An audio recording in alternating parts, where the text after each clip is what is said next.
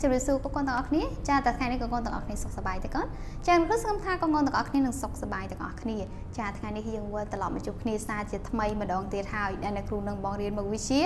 ចាសិក្សាសង្គមចាអញ្ចឹងមុននឹងចូលដល់មេរៀនចានៅចំណុចថ្មីដែលអ្នកគ្រូត្រូវបង្រៀនកូនដែរចាកូនកូនទាំងអស់គ្នាចាំទេកូនចាតើនៅមេរៀនចាស់របស់យើងចានៅចំណុចចាស់ របស់យើងតើអ្នកគ្រូបានបង្រៀនកូនអំពីអ្វីចាតើកូនកូនណានៅចង់ចាំអ្នកគ្រូបានបង្រៀនកូនអំពីអ្វីកូនចាគឺចំនួននៃរាជវង្សនិងអន្តរាគមពីកងទ័ពយួនមែនអត់កូនចាអញ្ចឹងតាចំនួននៃរាជវង្សនិងអន្តរាគមពីកងទ័ពយួនថាមានអ្វីខ្លះទៅតើកូនណាអាចសង្ខេបអំពីចំណុចនឹងប្រាប់អ្នកគ្រូបានទេ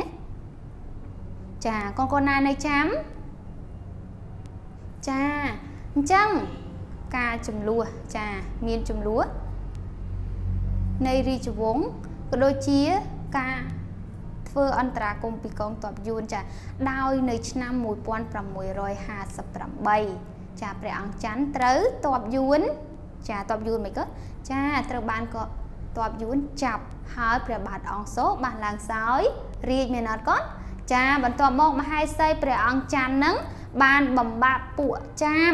ឲ្យធ្វើកូដព្រះបាទចាព្រះអង្គព្រះអង្គសូចាបន្ទាប់មកព្រះបាទជ័យជេថាទី3បានឡើងសោយរាជបន្តដោយព្រះបាទជ័យជេថាទី3បានឡើងសោយរាជបានតែ6ខែមហេសីព្រះបាទអង្គសូបំបាក់ចាមឲ្យ ធ្វើកូដព្រះបាទជ័យជេថាទី3កូនចាំអីកូនចាបន្ទាប់មកទៀតចាព្រះបាទជ័យជេថាទី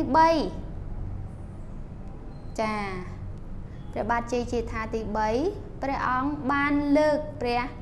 អង្គអឹមទី2ចាជាសន្និសាបានលើកព្រះអង្គអឹមទី2ជាសន្និសាដែលធ្វើឲ្យប្រទេស ប្រទេសជាតិ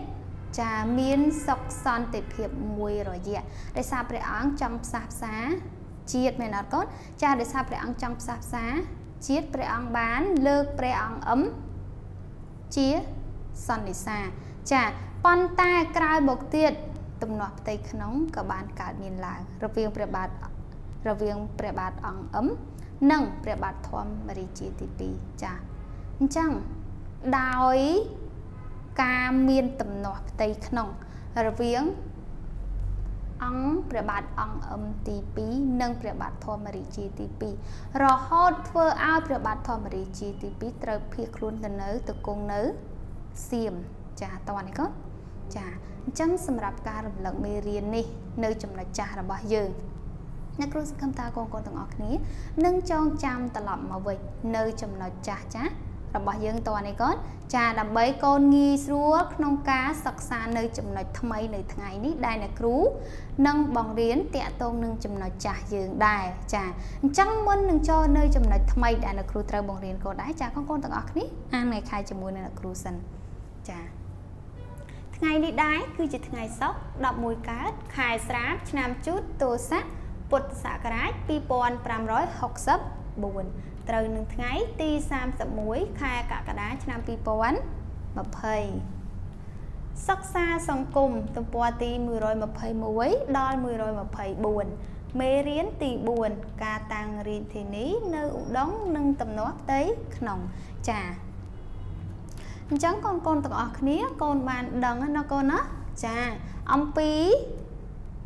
ចំណុចចាស់ដែលអ្នកគ្រូបានរំលឹកកូនអំបញ្ញមិញគឺចំនួននៃរាជវង្សនិងអន្តរាគមពីជនជាតិយួនចាអញ្ចឹងនៅថ្ងៃនេះអ្នកគ្រូបង្រៀនកូនគឺនៅមេរៀនទី4ដដែលប៉ុន្តែ គឺជាមេរៀនដែលបញ្ចប់ត្រឹមចំណុចចំនួនព្រះរាជវង្សនិងអន្តរាគមកងទ័ពយួនសៀមអញ្ចឹងគឺយើងបញ្ចប់មេរៀនយើងត្រឹមថ្ងៃនេះតោះនេះកូនចាដែលបន្តពី ចំណុចចាស់របស់យើងគឺចំណុចទី3មកចំណុចទី4ចាអញ្ចឹងតកតងនឹងចំនួនព្រះរាជវង្សនិងអន្តរាគមកងទ័ពយួនសៀមតើមូលហេតុអ្វីបានធ្វើឲ្យមានចំនួនរាជវង្សមូលហេតុអ្វីបានធ្វើឲ្យមានអន្តរាគមពីកងទ័ពយួនសៀមចាដែលកូននៅចំណុចចាស់កូនបានដឹងខ្លះខ្លះហើយមែនអត់កូនចាអញ្ចឹងនៅចំណុចថ្មីវិញកូនបានស្គាល់អំពីព្រះបាទអង្គ អឹមទី2រួចហើយមែនអត់កូនចាដែលមានទំនាស់ជាមួយនឹងព្រះបាទធម្មរាជាទី2តើណាកូនកន្លែងហ្នឹងកូនចាំអីកូនចាអញ្ចឹងនៅក្នុងចំនួនព្រះរាជវង្សនិងអន្តរាគមកងទ័ពយួនសៀមនេះចំណុចត្រង់នេះគឺព្រះបាទអង្គអឹមទី2បានឡើងសោយរាជលើកទី2ចាអញ្ចឹងព្រះអង្គបានឡើងសោយរាជលើកទី2មានថាឡើងសោយរាជម្ដងទៀត នៅឆ្នាំ1710ចាគឺព្រះអង្គបានឡើងក្រុងរាជម្ដងទៀតនៅពេលនោះចានៅពេលនោះព្រះចៅសៀមបានធ្វើសារផ្ញើទៅព្រះបាទអង្គអឹមទី2ឲ្យផ្ទេររាជទៅព្រះបាទធម្មរាជាទី2ចាប៉ុន្តែព្រះបាទអង្គអឹមទី2មិនយល់ព្រមចា ក្រោយមកកងទ័ពសៀមបានចូលចូលអីក៏វីក្រុងលងវែកដែលព្រះបាទអង្គអឹមទី2ស្រឡាញ់រាជបល្ល័ង្កដែលធ្វើឲ្យព្រះអង្គចាយកនគរធ្វើជាចំណោះចាដាក់នគរជាចំណោះសៀមតើនេះកូនចាគឺយកនគរជាចំណោះសៀម អញ្ចឹងនៅពេលដែលយកនគរជាចំណោះសៀមក្រោយមកទៀតដែលធ្វើឲ្យមានទំនាស់ផ្ទៃក្នុងចាខ្សាត់ក្រោយទៀតធ្វើឲ្យមានទំនាស់ផ្ទៃក្នុងកើតមានឡើងដែលធ្វើឲ្យមានការអន្តរគមរវាងតបយួនសៀមចាធ្វើឲ្យមានអន្តរាគមតបយួនសៀមជាបន្តបន្ទាប់មានន័យថានៅពេលដែលមានចំនួនរាជវង្សនេះ ចាមានវិបត្តិផ្ទៃក្នុងមានតំណក់ផ្ទៃក្នុងនេះទឹកសัตว์ក្រោយក្រោយទៀត ដែលធ្វើឲ្យមានអន្តរាគមយួននិងសៀមជាបន្តបន្ទាប់រហូតដល់ធ្វើឲ្យទឹកដីខ្មែរនឹងត្រូវរួញតូចតើណាកូនធ្វើឲ្យទឹកដីខ្មែររួញតូចដោយការពឹងពាក់បរទេសកន្លែងហ្នឹងកូនតនេះកូនចាដោយសារការមានចំនួនព្រះរាជវង្សចាដោយសារការមានចំនួនព្រះរាជវង្ស ដែលធ្វើឲ្យមានការអន្តរាគមពីកងទ័ពយួនសៀមដែលធ្វើឲ្យទឹកដីខ្មែរហ្នឹងកាន់តែរួញតូចទៅរួញតូចទៅដោយការពឹងពាក់បរទេសចារហូតធ្វើឲ្យទឹកដីកូសាំងស៊ីងត្រូវបានកម្មកាប់ចាកាន់កាប់ទាំងស្រុងគឺយួនកាន់កាប់ទាំងស្រុងអញ្ចឹងនេះគឺជាចំនួនរាជវង្សដែលការកាន់កាប់ទឹកដីកូសាំងស៊ីនោះ ត្រូវបានយួនកាន់កាប់ទាំងស្រុងនោះដោយក្នុងរជ្ជកាលមហាក្សត្រព្រះបាទអង្គច័ន្ទទី2ចាអញ្ចឹងកូនតនណាកូនចាការមានចំនួនព្រះរាជវង្សដែលធ្វើឲ្យខ្មែរត្រូវបាត់បង់ទឹកដីដែលធ្វើឲ្យទឹកដីខ្មែរកាន់តែរួនតូចទៅរួនតូចទៅ ចាស់ដោយសារការមានអន្តរាគមពីយួនសៀម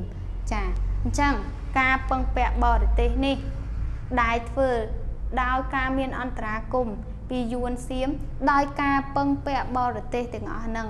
ដែលធ្វើឲ្យទឹកដីខ្មែរកាន់តែតូចទៅតូចទៅតួនអត់កូនចានឹងធ្វើឲ្យខ្មែរបាត់បង់នៅទឹកដីកូសាំងស៊ីងកូសាំងស៊ីនដែលត្រូវបានយួនកម្មកាត់ទាំងស្រុង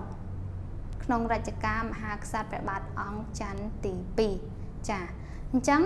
សម្រាប់ចំណុចទី4នេះ ចាអ្នកគ្រូសង្ឃឹមតាកូនកូនទាំងអស់គ្នានឹងយល់ណាកូនចាអញ្ចឹងអ្នកគ្រូមានជា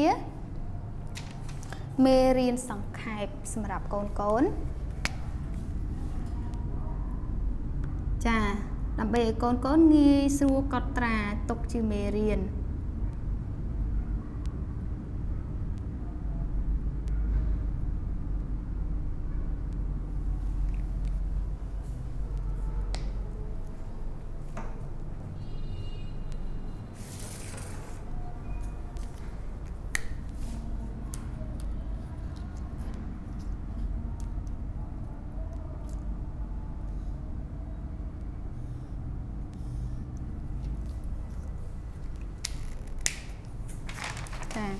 នេះគឺជាមេរៀនសង្ខេបសម្រាប់កូនកូនទាំងអស់គ្នា